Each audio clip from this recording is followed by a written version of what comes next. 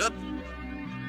Okay, so I'm gonna use the iPhone SE because my vlogging camera is in my bag. So I'm in traffic right now, but I have been looking at all day the newest leak of what is supposedly the iPhone 7. Now, if you haven't seen that, I'm gonna go ahead and link the link up the picture right here. I take no credit for this picture. This picture is not mine, so that is the disclaimer. That is not my picture. It is one that I found on Twitter. I don't even know whose it is. Give credit to that guy, whoever that is in the picture. But looking at the device that they're actually holding in their hand, it looks as though to me that that is a wide angle camera lens. The way that the, I guess the glass of it kind of bubbles out, is kind of like an actual lens. Most wide angle or most, you know, wider angled lenses, they can bubble out. It's able to capture more into the lens. So that can be dope. The thing is, that's gonna cause more of a camera hump. Um, so I'm not sure how people are gonna feel about that. I will say as a camera hump hater, which is one of the, you know, I mean, I love that part of the iPhone SE, that if it does have a bubble lens and it does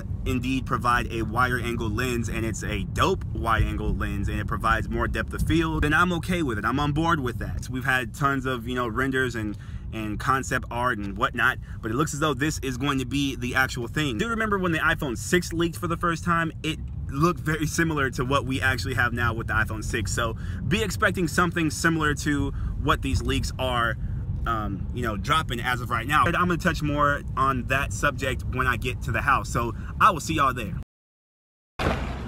Boba break. Shout out to iHeart Boba. It does look as though So yeah, it does look as though they were able to finally change the antenna bands for the iPhone 7. So that's gonna be really dope to see what that's going to look like. Obviously, the camera is going to be the big talk of the town.